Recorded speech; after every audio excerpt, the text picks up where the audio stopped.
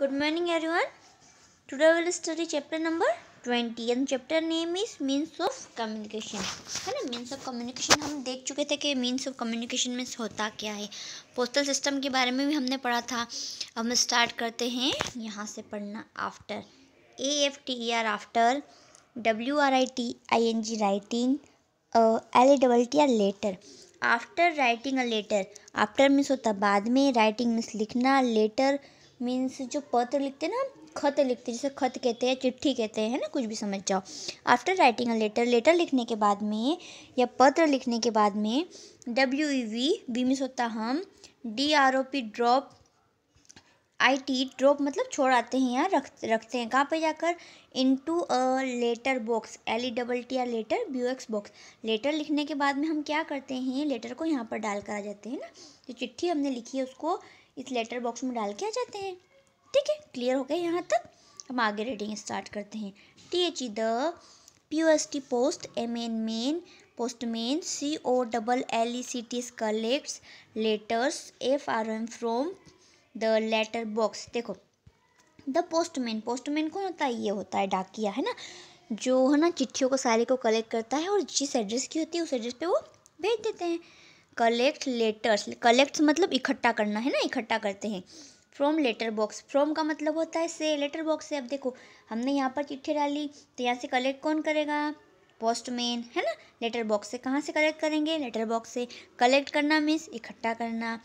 At a fix time every day देखो fix time मतलब एक निश्चित समय होता है कि बार ग्यारह बजे कलेक्ट करना है तो ग्यारह बजे ही कलेक्ट करना है। मतलब ग्यारह बजे आपको सारी चिट्ठी यहाँ से निकालनी है इस लेटर बॉक्स में से तो पोस्टमैन ग्यारह बजे ही निकालेगा। फिक्स टाइम होता है टाइम चेंज नहीं होता, है ना? एवरी डे एवरी डे मतलब रोज़ाना। Takes them to H E A D head P S T post O double F I C office head post office देखो, अभी जो हेड पोस्ट ऑफ़िस होता है ना, वहाँ ले जाता है वो, है ना? देखो, यहाँ पर head post office A T H E the P S T post O double F I C office T H E the T H E S these L E double T S letters A R E R H T A M P D stamped by the post master देखो at the post office these letters are stamp by the post master तो जो post master होता है ना, वो इन चिट्ठियों पर seal लगाता है ना स्टैम्प लगाते हैं ना the S T A M P D stamps letters A R E R A double R A N G arranged I N in S L O T slots according according मतलब? उसकी the stamps letter are arrange according according मतलब सही तरीके से जमाते हैं ना, वो arrange करते हैं। किसके according names to the place they should reach कौन कौन सी जगह उनको जाना है? जैसे उनको रतलाम जाना है तो रास्ते में कौन कौन से विलेज आते हैं तो उनको विलेज के हिसाब से वो अकॉर्डिंग विलेज के अनुसार उसको अरेंज कर लेते हैं कि हाँ पहले यहाँ पर पेटलावद आएगा या फिर करवड़ आएगा, उसके बाद रतलाम आएगा तो पहले पेटला वाली चिट्ठियाँ रखेंगे, फिर करवड़ वाली रखेंगे, फिर रतलाम वाली रखेंगे। तो इस तरफ़ से वो अरेंज कर लेते हैं ना? कौन? हेड जो हेड पोस्ट मास्टर है ना, वो अरेंज कर लेते हैं, ठीक है? फिर T H U Y they A R E R S E N T sent T O to T H I their D E S T I N A T M this destinations in big bags by buses trains and aeroplanes देखो, उसके बाद वो क्या करते हैं उनकी सही जगहों पर? जहाँ पर चिट्ठियों की पहचान होता है।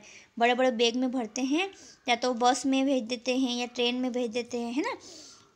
तो यहाँ पे यहाँ पे जो ट्रेन है, इसके अंदर रखा रही है, बस में रखा रही है, या फिर एरोप्लेन है या हवाई जहाज़, इनमें के अंदर भी चिट्ठियाँ पार्सल की जाती है, पता है आपको? उसके बाद आता है W H E N when T H U Y they R S H reach there destination उसके बाद वो अपनी सही जगह पर पहुँच जाती है। जैसे हम इंडिया में रह रहे हैं और हमने अमेरिका भेजी है तो कैसे जाएगी? वो तो एरोप्लेन से जाएगी ना। A postal van takes them to the main post office there देखो जो पो जो एक वैन होती है पोस्ट ऑफ़िस की वो वो जितनी भी डाक वगैरह आती है ना जितने भी लेटर्स वगैरह जो भी है उन सबको कलेक्ट करके जब मेन पोस्ट ऑफ़िस है ना वहाँ भिजवा देते हैं। जैसे कि हम आ, हम पेटलावद में हैं तो मेन पोस्ट ऑफ़िस झावा है तो सारी डाक झावा चल जाएगी। अब झावा से वो भेज देंगे कि कहाँ कहाँ की है उस उस जगह पर वो पार्सल करवा देते हैं।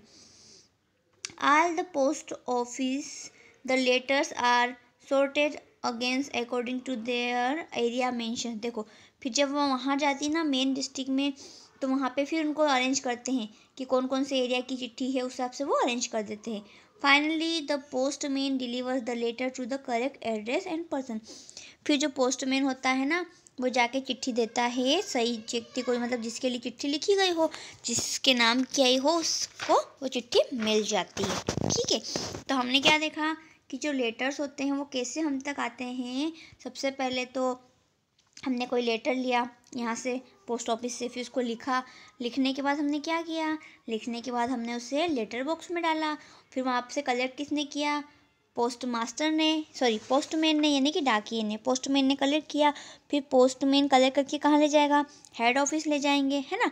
ये देखो, यहाँ पर देखो, ये ले गए हैं हेड ऑफ़िस फिर हेड ऑफ़िस में क्या किया? हेड ऑफ़िस में उसको स्टैम्प लगाया, उनको अरेंज कर लिया उनके नेम के अकॉर्डिंग जिस जिस जगह पर उनको जाना है, उनकी जो प्लेस उनके नियर है, उन जगहों के हिसाब से उन्होंने अरेंज कर लिया। उसके बाद वो क्या करते हैं? जहाँ की भी डाक होती है जहाँ के भी लेटर वगैरह होते हैं, उनको या तो वो ट्रेन में या बस में, है ना? या फिर एरोप्लेन में वो भेज देते हैं, वहाँ पर उनकी डाक चली जाती है। उसके बाद वो जब पहुँचती है, कहाँ पहुँचती है? उनके मेन पोस्ट ऑफ़िस में। फिर मेन पोस्ट ऑफ़िस में फिर अरेंज किया जाता है है ना? कि कहाँ कहाँ का एरिया कहाँ कहाँ का है, कहाँ के लिए चिट्ठी आई है उनको अरेंज कर कर पोस्ट मैन जो होता है, वो दे देता है। जिनके नाम की चिट्ठी होती है, उन्हें। ठीक है? अब देखो, यहाँ पढ़ते हैं L O N G long T I M E time A G O ago देखो लॉन्ग टाइम अगो मतलब बहुत साल पहले है ना? बहुत सारा मतलब बहुत ज़्यादा ही पुराने जब राजा महाराजा लोग रहते थे ना, उनकी बात हो रही है, ठीक है? हम लोग कोई भी नहीं थे। P I G E O G E O N S pigeons यानी कबूतर?